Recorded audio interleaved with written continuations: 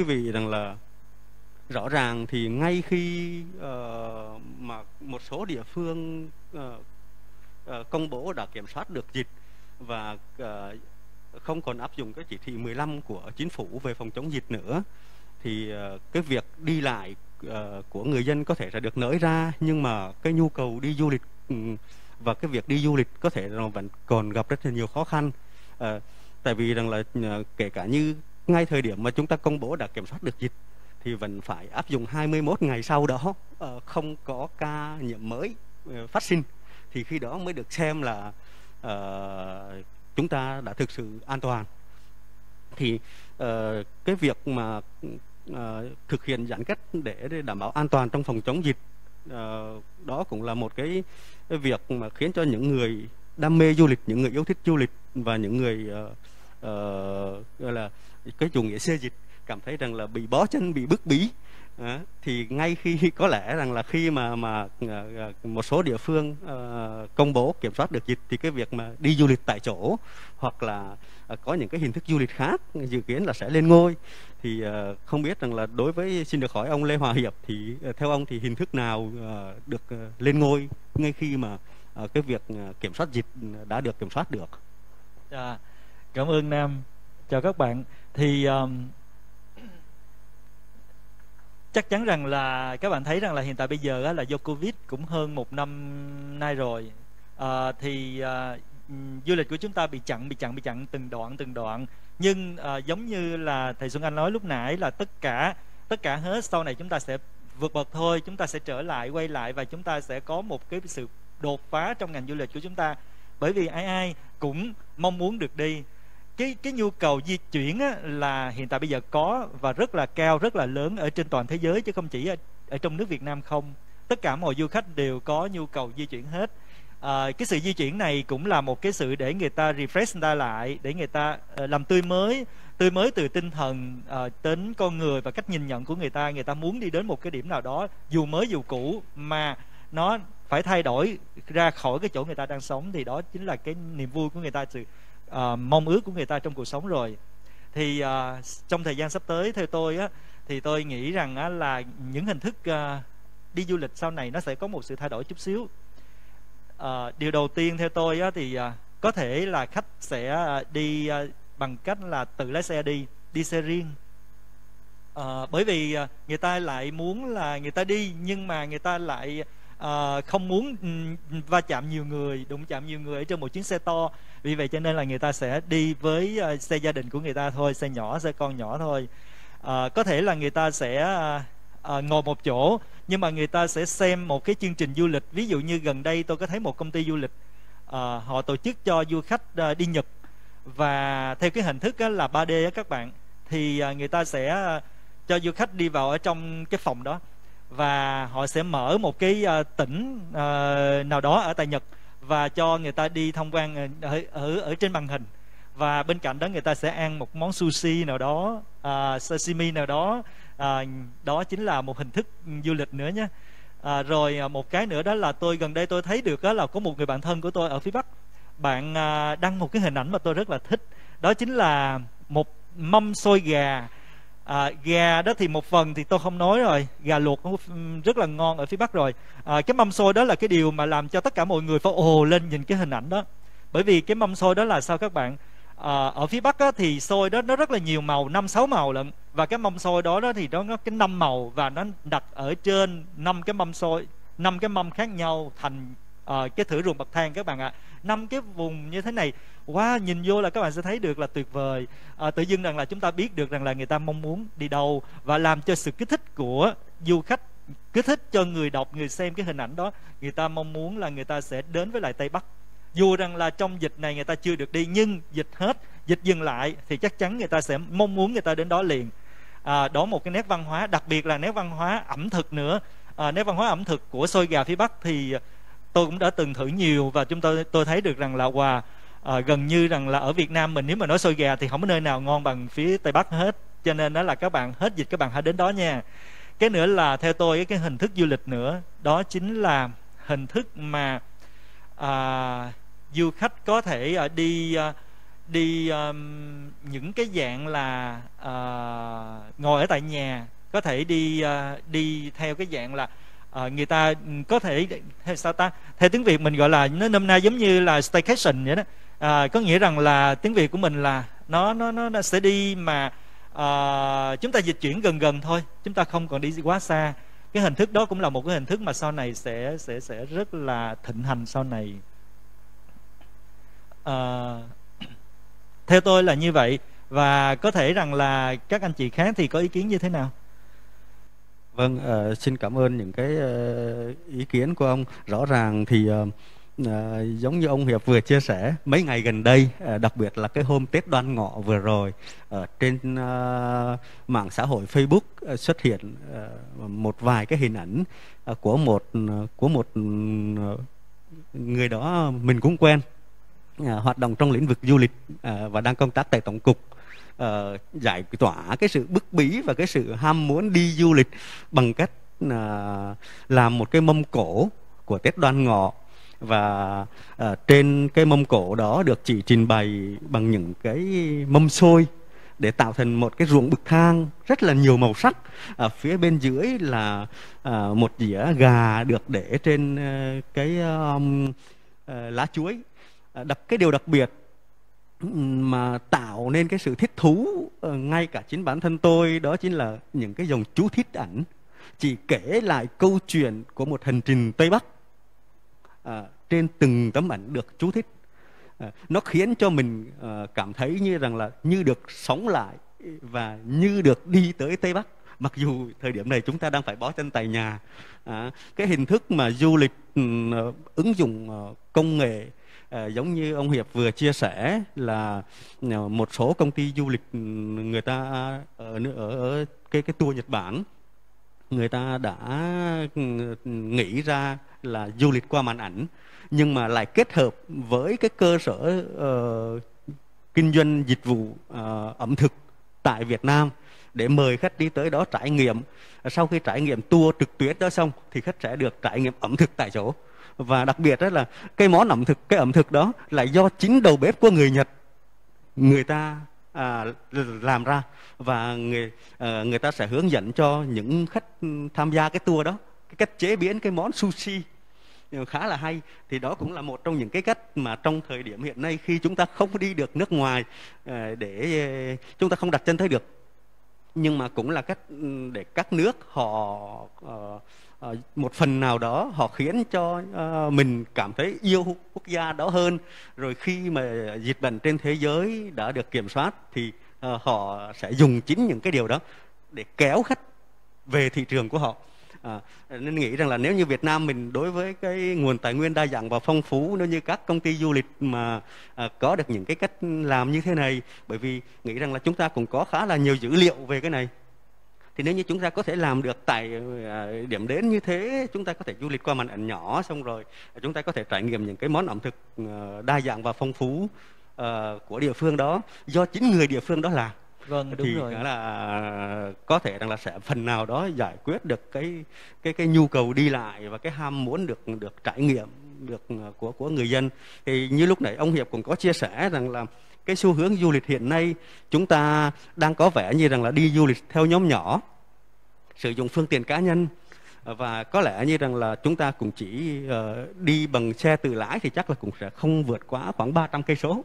Uh, như vậy thì đối với một doanh nghiệp um, hai travel như ông và chuyên làm tour đoàn, tour cao cấp thì cái điều đó nó có ảnh hưởng như thế nào và ông ờ, sẽ có những cái cách như thế nào để có thể uh, mình uh, xử lý hoặc là để mình có thể uh, tồn tại trong cái xu hướng như hiện nay.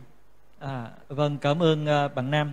Thì uh, kính thưa quý vị và các bạn, à, tôi tôi muốn nhắc thêm một cái dịch vụ nữa một cái hình thức du lịch nữa sắp tới đó đó chính là dạng khách du khách người ta mua dạng là combo cái combo này ở phía bắc nhiều ở trong nam thì chúng tôi ít gọi là combo các bạn nhé. Ở trong nam thì người ta mua ờ, người ta mua package tour nhiều hơn cái tour trọn gói nhiều hơn.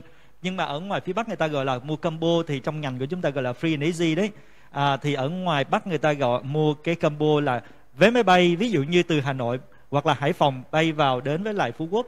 À, người ta chơi ở phú quốc ờ, à, 4 ngày 3 đêm và vé máy bay đó bao gồm khách sạn đưa đón ở tại khách sạn xong hết à, và phía bắc hiện tại bây giờ đang rất là chuộng cái combo này. À, và mỗi một gia đình người ta tự đi như vậy. Rồi cái nữa cái thứ hai nữa đó là cái điều mà uh, staycation. Staycation đó là một cái điểm nhấn mà hiện tại bây giờ cái hình thức du lịch tôi nghĩ rằng là nó sẽ lên ngôi sau này. Đặc biệt là trong thời gian giãn cách các bạn có thể staycation vẫn được. À, tại vì các khách sạn vẫn đang mở mà. Một số khách sạn vẫn đang mở đặc biệt những khách sạn cao cấp 4 năm sao thì người ta vẫn mở liên tục vậy cho nên cái staycation có nghĩa rằng là stay cùng cùng với lại vacation. Là hồi xưa đó thì chúng ta đi du lịch là vacation thì nó là một chuỗi dài ngày. Chúng ta phải mất nhiều thời gian chúng ta xin phép nghỉ chúng ta phải chuẩn bị tiền bạc và thời gian cho chính mình. À, nhưng mà bây giờ cái staycation đó đó thì nó sẽ dành cho chúng ta chỉ đi thường là khoảng 2 ngày một đêm thôi. Chúng ta có thể ở tại nhà cũng được. Chúng ta có thể rời khỏi nhà của mình đi đến với lại trung tâm quận nhất thôi. Ví dụ như hôm nay chúng ta sẽ đến với lại khách sạn rest ví dụ thôi hoặc là đến với lại một khách sạn nào đó mà chúng ta yêu thích chúng ta làm một điều rằng là chúng ta chưa có cơ hội chúng ta làm trong thời gian vừa qua. Ví dụ như là đọc một cuốn sách rất là yêu thích mà chúng ta lâu rồi không không có thời gian đọc. Chúng ta à, định tập thể dục nhưng mà chúng ta chưa có một lúc nào đó để chúng ta dành cái thời gian cho chính mình thì vô ở trong những khách sạn bốn năm sao người ta sẽ có cái phòng gym cho mình. Vì cái vô đó mình có thể tập mình có thể mình bỏ một tiếng thời gian để chúng ta bơi ở trên cái hồ bơi của khách sạn. Và chúng ta sẽ xem một bộ phim uh, chúng ta chưa từng được xem. Đó cũng chính là dạng đi du lịch ở tại địa phương đó. Có thể ở tại nhà hoặc có thể chúng ta rời khỏi nhà để đến với lại một khách sạn nào đó. À, cái đó người ta gọi là staycation và tôi nghĩ rằng là thời gian sắp tới nó cũng sẽ lên ngôi. À, còn à, việc mà đối với lại công ty của tôi là công ty chuyên về khách đoàn đấy thì à, tôi nghĩ như thế này. À, tôi cũng đã từng làm khách lẻ và về mảng khách lẻ trong mùa dịch này trong thời gian tới thì chắc chắn rằng là cũng à, khách người ta sẽ mua combo nhiều hơn mua free and gì nhiều hơn mua khách sạn và vé máy bay nhiều hơn thôi. Người ta cũng sẽ hạn chế tiếp xúc với lại các những gia đình khác. Khách lẻ là sao? Ví dụ như trên xe là 20 người mà 20 người đó là 10 gia đình. Từng cặp từng cặp từng cặp là 10 gia đình. Vậy thì tôi mua tour tôi, tôi đâu có biết được rằng là chính gia đình kia người ta như thế nào. Người ta có tiếp xúc với người bệnh không? Cá nhân người ta có bệnh không? Điều đó cho nên là chính mỗi một người người ta sẽ hạn chế cái việc đi mua tour khách lẻ ghép đoàn giống như trước đây mà người ta sẽ thường người ta sẽ chuyển qua mua free and easy là mua combo đó các bạn là mua ở vé máy bay hoặc là đặt phòng khách sạn thôi. Nhờ công ty du lịch sẽ làm điều đó chắc chắn là chúng ta sẽ lợi thế hơn. Bởi vì chúng ta có được những cái hợp đồng rất là đặc biệt của hãng hàng không của khách sạn và của uh, các công ty vận chuyển à, thì à, công ty du lịch chúng tôi sẽ có được những cái điều đó lợi thế hơn. Và cái điều thứ hai nữa là nói về khách đoàn thì tôi nghĩ rằng á, là trong thời gian tới du khách đi đoàn sẽ có một cái cái cái uh, tự nâng cao cái cái giá tiền tour và chất lượng tour nó lên. Ví dụ như rằng là người ta đi gần đây là công ty tôi cũng đã từng tổ chức nhiều đoàn trong đó gần đây nhất là cái tour đi Đà Lạt. Và chúng tôi sẽ không chọn cho du khách và khách cũng không không chọn nha à, không chọn ở những khách sạn trung tâm thành phố Đà Lạt giống như trước đây. Trước dịch đó thì ai ai đến Đà Lạt người ta cũng mong muốn ở gần chợ để người ta dễ di chuyển đến đi chơi. Buổi tối đi uh, dạo mát ở Hồ Xuân Hương. Nhưng ngày hôm nay người ta không muốn như vậy nữa mà người ta chuyển ra hướng phía bên ngoài ví dụ như gần hồ Tuyền Lâm cách với lại chợ Đà Lạt khoảng 5 đến 7 cây số mà người ta lại thích. Có xe trung chuyển á, đi ra shuttle bus á, người ta chuyển ra vô liên tục từng giờ từng giờ là sẽ có xe à, vậy cho nên á, hoặc là xe của công ty của mình à, đưa đi đưa đưa khách đi du lịch nhưng mà người ta chọn á, là ở trong những khu villa biệt thự ở trong những cái resort. Nhưng mà ở trong cái resort á, thì nó lại có những dạng ví dụ như những cái phòng là phòng building. Nhưng công ty của chúng tôi cũng không chọn cho khách phòng building và công ty chúng tôi chọn cho khách những cái villa biệt thự riêng. Bởi vì building nó cũng sẽ là một dạng khách sạn. Khách sạn nằm ở trong resort. Thì các bạn thấy rằng là khách mà ở trong đó thì cái sự cái độ mà va chạm với người khác đi ra đi vô ở trên cái cái cái hành lang thôi đó cũng là một sự va chạm rồi. Vậy cho nên á, là người ta ờ, chúng tôi cũng chọn cho khách của mình ở trong những cái villa biệt thự mà tách hẳn ra riêng luôn với lại những cái building đó.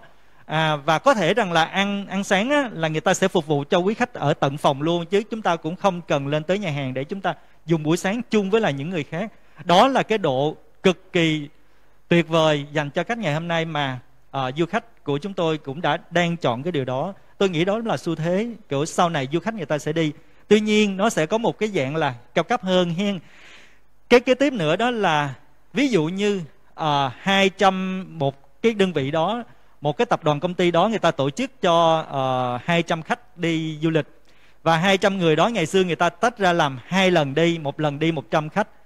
À và 100 khách á, thì uh, đi hai lần. Thì các bạn thấy rằng là ngày xưa người ta đi hai lần và mỗi một chiếc xe là khoảng 3, gần 30 30 tới 35 người. Nhưng mà ngày hôm nay thì người ta sẽ không đi như vậy nữa. Người ta sẽ đi là 200 khách đó người ta có thể đi 5 lần. Mỗi một lần chỉ có 40 khách thôi. 40 khách đó người ta sẽ chia ra làm hai xe nữa. Hai xe 45 chỗ mỗi một xe là 20 chỗ thôi. Có nghĩa là xe 45 mà chỉ có 20 người ngồi. Thì các bạn thấy rằng là sự giãn cách của du khách với nhau họ cũng sẽ uh, chuộng hơn uh, mỗi một xe 45 nhưng mà họ giãn cách ra là chỉ 20 người ngồi trước đây là 35 40 người ngồi bây giờ chỉ còn 20 nhưng mà họ vẫn đi được hết 200 người. Để tính được 200 người đó thì chắc chắn họ phải đi 5 lần chứ không phải là hai lần giống như ngày trước. Vậy cho nên đó là cái điều mà du khách sau này chọn đó chính là những cái điểm đặc biệt chất lượng cao cấp à, phải cần sự chuyên nghiệp hơn à, chất lượng nó phải là thật tuyệt vời hơn. Hơn nữa tôi nghĩ rằng là xu thế nữa là du khách sau này sẽ đi private tour là xui gia đình đó các bạn. Ví dụ như tôi uh, đi chung với gia đình tôi cũng như rằng là uh, rủ thêm một số bạn bè.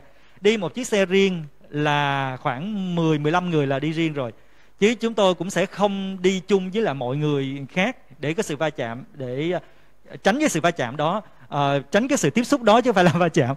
Tránh sự tiếp xúc đó để mà nó an toàn hơn. Mặc dù rằng là có thể sau này cả nước hoặc là thành phố Hồ Chí Minh chúng ta sẽ có uh, có dịp là chúng ta sẽ chích um, vaccine rồi nhưng mà chắc chắn ai cũng biết được rằng là vaccine đó nhưng chúng ta luôn luôn phải tuân thủ theo 5K các bạn nha. À, và tôi nghĩ rằng là cái điều mà hôm nay à, tôi đến đây chia sẻ với à, quý vị và các bạn à, tôi cũng cảm ơn rằng là Sài Gòn Tiếp Thị đã tạo cơ hội cho anh em chúng tôi à, được um, chia sẻ công việc của mình trong cái mùa dịch Covid này. Mặc dù rằng là mùa dịch Covid thì ai ai cũng uh, nghĩ rằng là chúng tôi chống trải nghĩ rằng là chúng tôi sẽ uh, rảnh rang nhưng thật sự không phải. Chúng tôi có rất là nhiều những cái công việc uh, kế tiếp nữa của chúng tôi để làm sao duy trì được cái nghề yêu nghề này cái cái, cái yêu ngành du lịch này uh, để làm sao nuôi dưỡng được cái uh, bộ máy của chúng tôi làm sao để chúng tôi uh, phải uh, truyền lửa tiếp tục lửa cho thế hệ đàn em sau này. Xin cảm ơn uh, nam cảm ơn sài gòn tiếp thị rất nhiều. Vâng, à, xin được cảm ơn những chia sẻ của ông Hiệp. À, à, qua chia sẻ của ông Hiệp thì à, rõ ràng là du lịch tại chỗ à, sẽ được xem là một trong những loại hình sẽ lên ngôi à, khi dịch bệnh được kiểm soát và nó sẽ giải quyết được cái nhu cầu cũng như là cái sở thích đi du lịch bởi vì à, trong một khoảng thời gian qua chúng ta đã bị bó chân. Thì à, theo bà Yên Ly thì uh, uh, nói về du lịch tại chỗ tại thành phố Hồ Chí Minh thôi thì thành phố Hồ Chí Minh sẽ có những cái lợi thế gì ờ, trong phát triển du lịch hình thức là du lịch tại chỗ thưa bạn?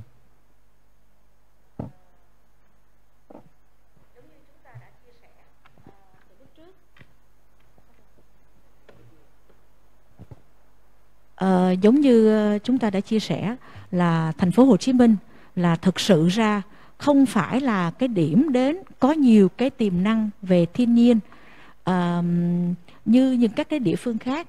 Tuy nhiên là thành phố Hồ Chí Minh Sài Gòn chúng ta có thể nếu mà tìm kỹ tìm những cái uh, cái thiết kế những cái tour có cái trải nghiệm sâu hơn thì chúng ta có thể uh, uh, thiết kế lên những cái sản phẩm dành riêng cho thành phố Hồ Chí Minh uh, để mà có thể uh, Ờ, đáp ứng được cái nhu cầu sắp tới của du khách. Đó là cái nhu cầu du lịch tại chỗ mà nãy giờ anh Hiệp và anh Nam có nói là staycation đó. Thì ờ, cái du nhu cầu du lịch tại chỗ này à, nếu chỉ đơn giản là mọi người đến một cái khách sạn để nghỉ ngơi thì nó vẫn chưa đạt.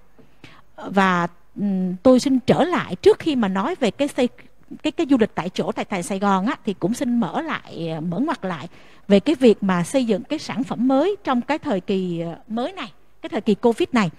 Thì rõ ràng chúng ta phải uh, quan tâm đến những cái vấn đề gì trong cái việc xây dựng sản phẩm vào cái thời kỳ mới. Đó là chúng ta phải xác định cái xu hướng du lịch là mọi người sẽ đi theo nhóm nhỏ nhóm gia đình uh, đi ngắn ngày hơn. Và chúng ta phải có cái nhu cầu vì ngắn ngày hơn và nhóm nhỏ hơn thì nó không giống như du lịch đại trà như mass mà chúng ta bắt buộc phải có thêm nhiều cái trải nghiệm ở trong mỗi cái đường tour. Như vậy thì quá phù hợp với thành phố Hồ Chí Minh. À, có đúng không anh Xuân Anh và anh Hiệp? Là bởi vì sao? Thành phố Hồ Chí Minh nếu chúng ta chỉ lướt qua chúng ta sẽ không thấy điều hay không thấy điều thú vị ở trong đó. Mà những cái điều thú vị mà chúng ta sẽ muốn kể tiếp tục với du khách thì nó cần phải sự trải nghiệm sâu và từng nhóm nhỏ thì vô tình thành phố Hồ Chí Minh lại rất là phù hợp thưa quý vị.